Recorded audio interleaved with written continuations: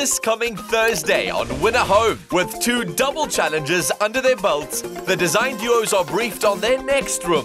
The master. A master. Will they be masters of design or will they get caught napping?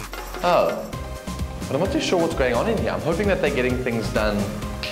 Watch all the drama unfold as Team R&K, Team Contrast Control, and the Perma Peeps battle it out for the title. Live at 7:30 p.m. on SABC3. The stage is yours. Win A Home, proudly brought to you by Capitec and Private Property, with Samsung products designed for your connected lifestyle.